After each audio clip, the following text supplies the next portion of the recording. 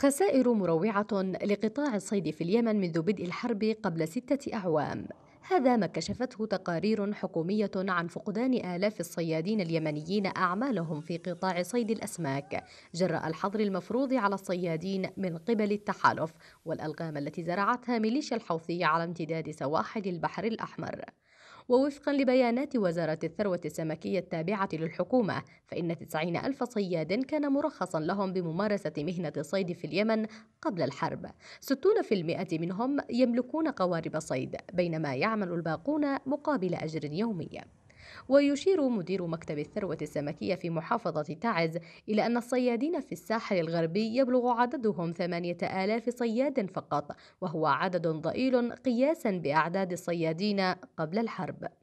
وتوضح التقارير إلى أن المئات من الصيادين فقدوا قواربهم إما بسبب الدمار الذي تخلفه ألغام ميليشيا الحوثي أو قصف التحالف أو مصادرة قواربهم من قبل القوات الأرتيرية التي تحتجز المئات من الصيادين اليمنيين بعد مصادرة قواربهم.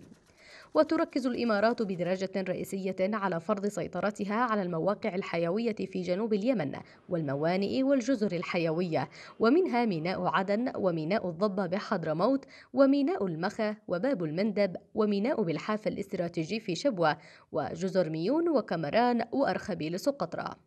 ويتضح أن من وراء هذه السيطرة وفق مراقبين مغازن اقتصادية وتجارية أكثر منها إنقاذية وتعاونية والسيطرة على ثروات اليمن وأهمها الثروة السمكية المتنوعة.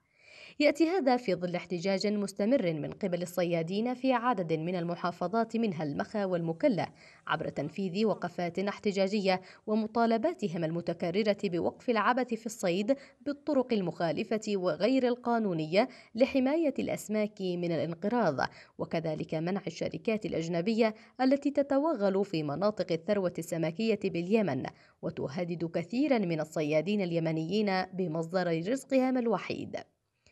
وتعرض القطاع السمكي في اليمن بسبب الحرب المستعرة للتدمير في البنية التحتية وتوقف لأعمال الصيد وتضرر في القطاع الذي يعتمد عليه أكثر من مليوني نسمة من إجمالي سكان اليمن بحسب إحصائيات رسمية صادرة عن وزارة الثروة السمكية.